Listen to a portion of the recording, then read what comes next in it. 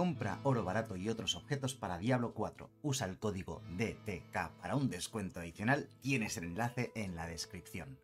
Bien, y bien, y bien, mis pequeños drugos, bienvenidos una vez más a Diablo TK. Hoy estoy especialmente contento porque por fin voy a conseguir el mejor objeto del juego, lo voy a conseguir en este vídeo, lo vais a ver ahora a continuación, que me va a permitir asaltar por fin el foso nivel 150. ¿Qué voy a necesitar para conseguir este objeto?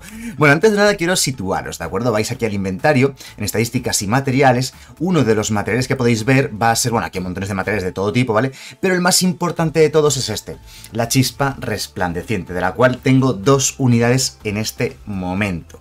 Bien, esta chispa resplandeciente es uno de los materiales más difíciles de conseguir del juego, por no decir el más difícil absolutamente de todos, y se consigue de varias maneras. La primera de las maneras es derrotar a Uber Lilith en Tormento, al menos en Tormento 1, ¿no? Vale, voy rápidamente con esto porque ya deberíais saberlo, ya lo he comentado en algún otro vídeo, ¿vale? Uber Lilith se encuentra aquí, en el Eco del Odio, ¿vale? Cerca de Kiobashat, derrotáis a Uber Lilith y os da una chispa resplandeciente.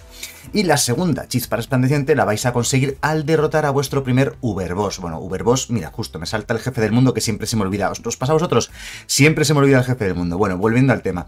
Eh, Uberbosses, o bueno, eh, jefes atormentados en español, o eh, Atormented Bosses en, inglés, ¿vale? Por ejemplo, tenemos aquí a Grigoir, ¿vale? En, esta sala, tenemos por aquí a, a Barshan tenemos por... Bueno, hay diferentes salas, por ejemplo, aquí tenemos otra que es donde está Duriel. Bueno, hay varias salas, esta aquí es donde está la bestia de hielo. Bueno, eh, la primera vez que derrotas a un Uberboss también te dan una chispa resplandeciente, ¿vale?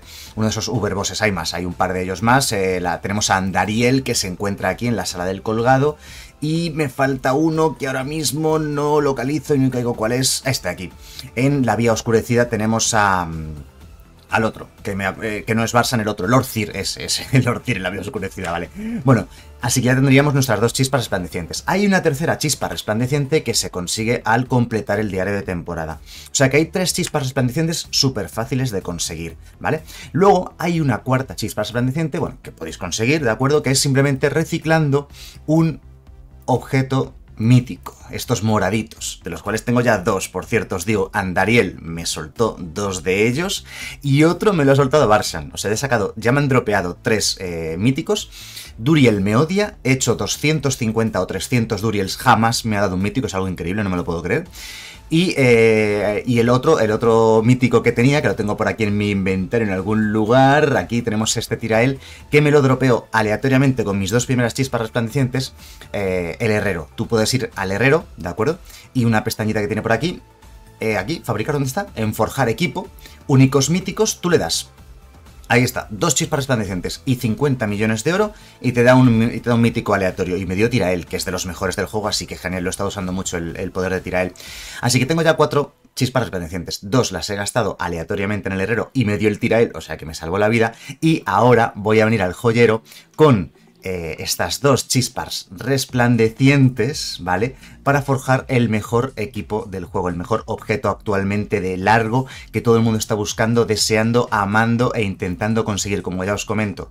Tengo estas dos chispas resplandecientes, que es lo que te pide el joyero, pero el joyero en lugar de darte un mítico aleatorio, te da un mítico específico, el que tú quieras, y aquí los tienes, ¿de acuerdo? En la pestaña de la derecha, creación de runas. Lo han puesto en creación de runas, no sé por qué, debería estar, yo creo, en mi opinión, en el herrero, que haya un objeto aleatorio en el herrero de mítico y otro ya específico. Pero bueno, ya lo moverán, supongo, porque no tiene mucho sentido. ¿Veis? Aquí podéis crear cualquiera de los míticos que hay en el juego. Actualmente hay unos 10 aproximadamente. Eh, y el que quiero es precisamente este, el embozo de la falsa muerte, que es el mejor, absolutamente mejor juego, mejor equipo del juego actualmente, el más buscado, el más eh, deseado por todo el mundo y de hecho las runas, porque hacen falta runas para fabricarlo, están carísimas, buscadísimas. La gente está pagando locuras de oro para conseguirlas. Vale, son tres, perdón, son tres tipos de runas distintas. Seis eh, mágicas, seis eh, raras y seis legendarias, perdón, digo míticas ni de eso. y 6 legendarias. Las legendarias son, claro, difícilmente conseguibles y son la runa back. De hecho, las tengo aquí preparaditas. La runa back, runas legendaria, he conseguido ya las 6. Ha sido bastante complicado, tenía ya 3 en mi inventario y las otras 3, vale, por cierto, si os metéis por ahí en foros, en páginas, en, por internet, vais a encontrar que hay muchísimas páginas web de comercio, de runas y ese tipo de cosas, ¿vale? También podéis utilizar el chat del juego para decir, compro runas back y a lo mejor os piden 500 millones de oro, o 300 millones de oro, o 200 millones de oro por cada una, o algo por el estilo, o a lo mejor te dicen, oye, pues dame tres runas lead y te doy una back. Pues dices, venga, vale. Yo no he utilizado ningún tipo de medio externo, lo que he hecho ha sido usar, eh, tenía montones de runas eh, raras y, y lo que puedes hacer en el joyero, si queréis hacerlo, es las runas amarillas, que son las raras, ¿vale? Por cada tres idénticas puedes forjar una runa aleatoria. Esa runa aleatoria va a ser de la misma rareza, o sea, si yo forjo, o sea, si yo destruyo aquí en el joyero, por ejemplo, eh, vienes aquí, creación de runas, ¿vale? Eh, esta, por ejemplo. No, están aquí no. No, les no lo encuentro ahora mismo. A ver, cierro todo otra vez. Para verlo mejor. Aquí, reforjar runas mágicas. No, mágicas raras, es lo que os quería decir, ¿vale? Yo tengo, por ejemplo, tengo aquí 6 eh, runas Kree. Bueno, por cada 3 idénticas te deja destruir 3 de ellas, te da una aleatoria de la misma rareza que tiene una pequeña probabilidad del 15% de subir a legendaria. Bueno, pues me he cargado todas mis runas raras, ¿vale? Las he ido rompiendo, rompiendo, rompiendo, rompiendo, eh, de 3 en 3, y he sacado dos runas back, así que pasé de 3 a 5 runas back, y luego cogí las legendarias, ¿vale? Todas estas legendarias que tengo aquí, antes tenía muchísimas más legendarias y muchísimas más raras, lo que pasa es que he destruido muchas legendarias hasta que me salió ya finalmente la sexta runa back que me faltaba. Bueno, pues todos los objetos míticos, si queréis alguno de ellos, podéis venir aquí y os van a pedir tan sencillo como no tan sencillo o no, entre comillas, para cualquiera de ellos van a pedir siempre 5.000 eh, de oro, que es testimonial, ¿vale? Dos chispas resplandecientes, que ya os he explicado cómo se consiguen las dos primeras súper fáciles, y la tercera también. La cuarta ya te pide forjar, destruir, mejor dicho, un, mítico que hayas eh, obtenido. He destruido el que era el peor del juego, ¿cómo se llamaba? Es, una, un arma de una un arma muy mala. Bueno, el caso es que con 6 runas back legendarias, 6 runas Kree, raras y 6 runas Money eh, mágicas, que son muy fáciles de conseguir, obviamente, las, las, raras y las mágicas te van a sobrar, las legendarias no, me ha costado un poquito, eh, vamos a poder forjar el mejor objeto del juego, el embozo de la falsa muerte, vamos a ver qué tal nos sale, porque puede salir con varios afijos potenciados, si sale con uno es lo más normal, ¿vale? Pero si sale con dos ya, ¡buah! contentísimo, vamos a darle a crear y ya lo tenemos, ahí está creado. ¿Dónde estás? ¿Dónde estás, pequeñín? Ha salido con un afijo potenciado, no pasa nada, más 240 a todas las estadísticas, que es una auténtica salvajada, más 800 de vida. 800 de vida es una burrada porque, eh, la, bueno, porque, según la build que estés jugando, pero en la build de Quill Volley del espiritualista, la, build de eh, Salva de Cálamos, que ya os la he explicado aquí en el canal, ya hemos traído guías sobre ella, eh, es especialmente buena la vida máxima porque hay varias habilidades que potencian tu daño en función de tu cantidad de vida máxima. Así que cuanta más vida máxima, más daño vas a hacer, ¿no? Y luego, 333% eh, de daño con el siguiente ataque tras entrar en sigilo porque esta, este, este objeto cuando durante dos, dos, segundos, dos años no, durante dos segundos no has hecho daño, entras en sigilo. Si entras en sigilo, nadie te ve, desapareces. ¿Vale? Ni te ven, ni te pueden atacar, ni nada de ese tipo de cosas, ¿de acuerdo? Y cuando sales del sigilo, eh, haces ese daño extra, 333% de daño al salir del sigilo.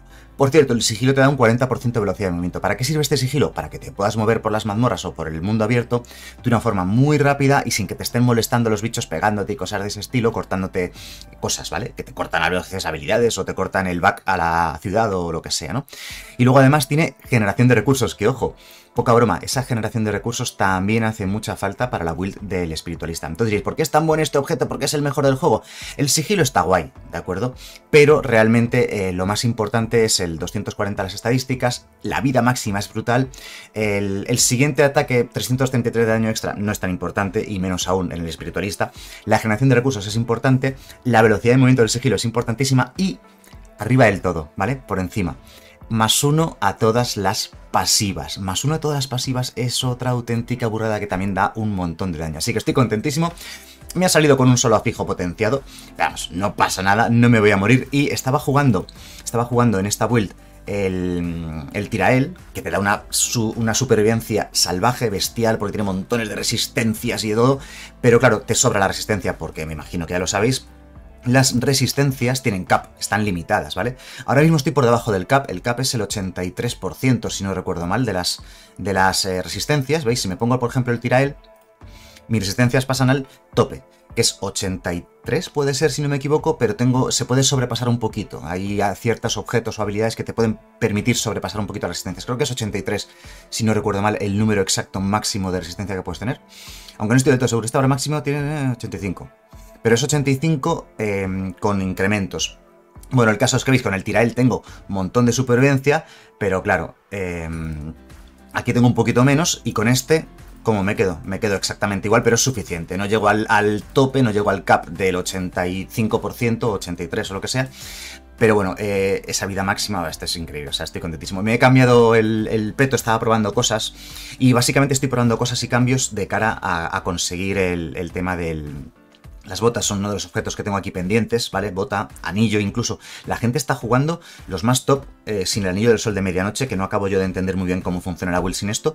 Con este anillo que, tengo aquí preparadito, ya veremos. Este está mal, no es bueno, pero es un, son pruebas que estoy haciendo. Y ya os digo, el siguiente vídeo que haga con el hablando de esto va a ser para deciros, me he hecho el foso 150, o al menos eso espero. De momento esto hay que, hay que subirlo, creo que tengo poca obducita, así que para maxearlo tendré que farmear un poquito de obducita. Y, bueno, pues ya está, ya está la build casi perfecta. Las botas, pero me falta generación de recursos, así que si me quito estas botas no voy a llegar a la generación de recursos necesaria para que funcione la build. Ya os iré contando. Nada más, eh, espero que el vídeo os haya gustado, nos vemos en el siguiente. Hasta luego.